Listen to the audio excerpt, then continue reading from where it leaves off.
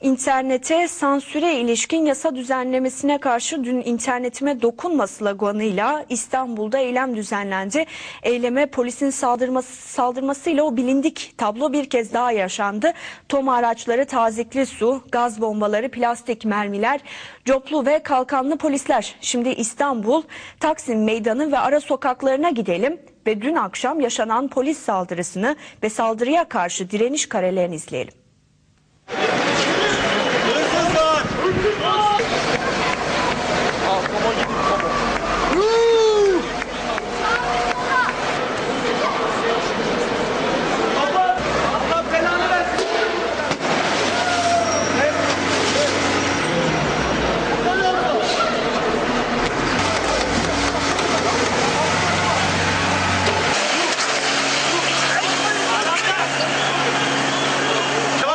Var sürme biz. Selpak var mı? Elini yüzüne sürme. Elini yüzüne sürme. Hayır silme lütfen ya. Silin. Ne yaptık lan biz size?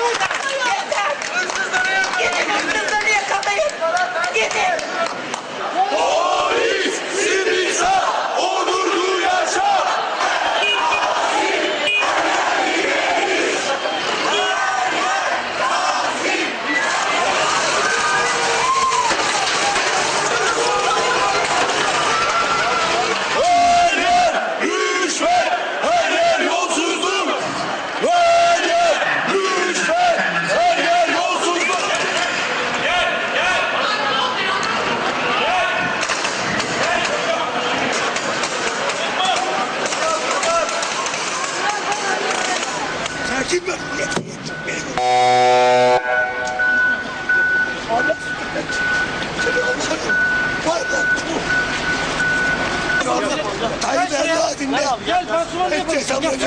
Gel. Gel.